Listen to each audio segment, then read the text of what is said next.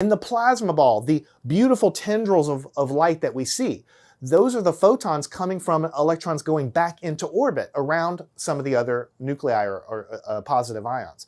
In the aurora, the beautiful shimmering pictures Uh, uh, of, the, of the light, that is coming from electrons going back into orbit. So I guess what I'm trying to tell you, and the same thing with the candle flame. The candle flame, we're seeing the flame, we're seeing the light coming from the electrons going into orbit. So we never see the plasma itself, is what I'm trying to tell you. All we see are the photons that are generated from electrons recombining with the ions. And in a, in a tube where you're putting energy in, you're always reionizing some fraction of these atoms. And then through chance collision, some fraction of them are going back into orbit around atoms and releasing photons.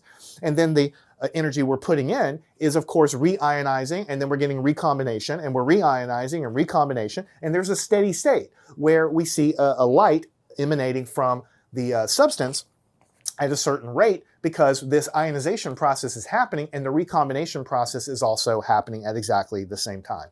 So that's the takeaway I wanted you to have. We don't see the plasma. We don't. In fact, if you had a purely fully ionized plasma with a gas tube and you dump gigawatts of energy into it, of power into it, and you ionized every single atom that was in there. In other words, if you had a, a, gas full of hydrogen and you ionized every single atom so that every atom was a free electron and a free proton and none of these ever recombined because the energy was so high they could never recombine and go back into orbit like this, then we would never see anything. It would look completely clear.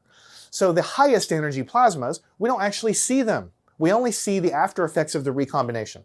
So the higher energy plasma is completely transparent. Learn anything at mathandscience.com.